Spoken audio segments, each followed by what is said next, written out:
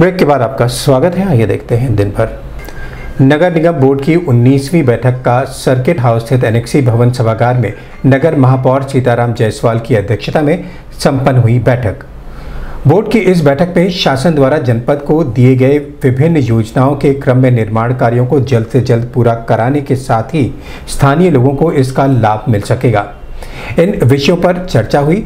चर्चा के दौरान नगर महापौर सीताराम जायसवाल ने सभी संबंधित अधिकारियों व नगर निगम के पार्षदों से कहा कि शासन की मंशा के अनुरूप हम सभी को कार्य करते हुए शासन की योजनाओं को जन जन तक पहुँचाने का लक्ष्य शत प्रतिशत प्राप्त करना है और स्थानीय लोगों को इसका लाभ दिलाना हमारी पहली प्राथमिकता होगी। वहीं जल जमाव की समस्या को युद्ध स्तर पर लगकर सभी संबंधित अधिकारी समाप्त करें। इसके लिए भी निर्देशित किया गया। इस दौरान नगर आयुक्त अविनाश कुमार सिंह, मुख्य अभियंता नगर निगम सुरेश चंद्र, महाप्रबंधक जलकल एसपी श्रीवास्तव उप सभापति ऋषि मोहन वर्मा सहित बड़ी संख्या में नगर निगम के पार्षद और कर्मचारी मौजूद रहे।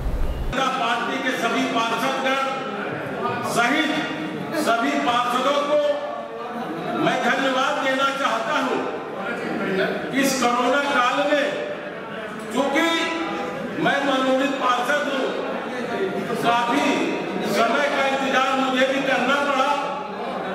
और मैं सदन में पहली बार बोलने के लिए आपके सामने उपस्थित हूँ ऐसा शासन का निर्देश है लेकिन दुख के साथ के बाद हाशिया किनारे का होता है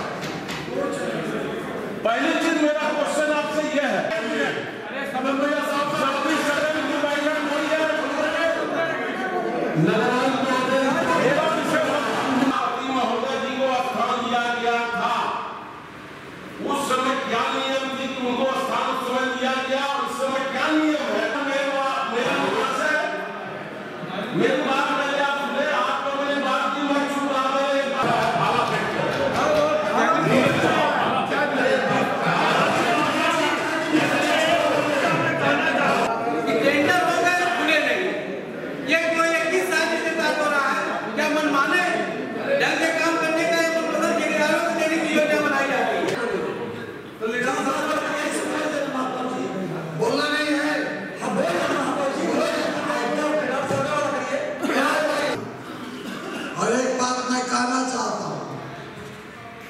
कि सदन शहर के विकास में, चाहे वो किसी दल और पार्टी से जुड़ा हो, ये सबका शहर है। सबको मिलजुल करके, बिना किसी एक दूसरे पर आरोप लगाए,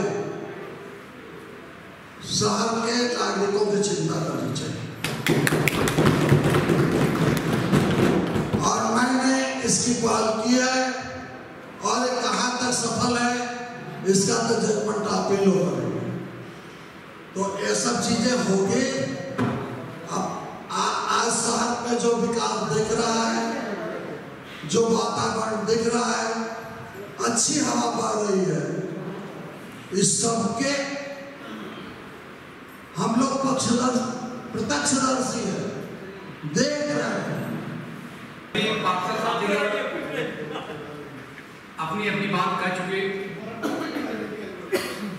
मैं चाहूँगा कि केवल 10 मिनट मिनट मुझे दे दें सिर्फ़ 10 मिनट लेकिन मैं आपकी सबकी चाहूँगा क्योंकि मैं बहुत बातें तो बहुत कुछ करना चाह रहा हूँ लेकिन मुझे लग रहा है कि अंगारी भाई ने भोजन की बात करने लगे अभी से तो होने का भी छह ही बजा है तो आप थोड़े दस आपको दस थोड़ी ना आप। हमको दस मिनट खाली दे दो गंभीरता पूर्वक उसी में मैं जो मैंने सत्रह अप्रैल को ज्वाइन किया और आज तक और आने वाले समय में जो मैं करना चाहता हूँ जब तक जब तक भी रहूँगा यहाँ। ऊपर वाला रखेगा। जो हमने क्या सोचा है, आपके साथ मैं शेयर करना चाहता हूँ। और मेनली मेरे हर एक्ट में सिर्फ़ एक चीज़ होती है, वो है नगर निगम। कैसे? मैंने मेरे हिसाब से जितनी बार की बातें हुई, पिछले तीन चार महीने में मैंने जो चीज़ देखा तो एक चीज़ मैंने मेरा ये मेरा एकदम पर्सनल है मैं साथियों से शेयर करता हूँ। उम्र भर गालिब यही भूल करता रहा कि यहाँ की नगर निगम में कुछ खास चीज़ों जो मुझे कमियाँ नज़र आती हैं। उम्र भर गाली गई भूल करता रहा, चेहरे पर थी भूल और आईना साफ़ करता रहा। चेहरे पर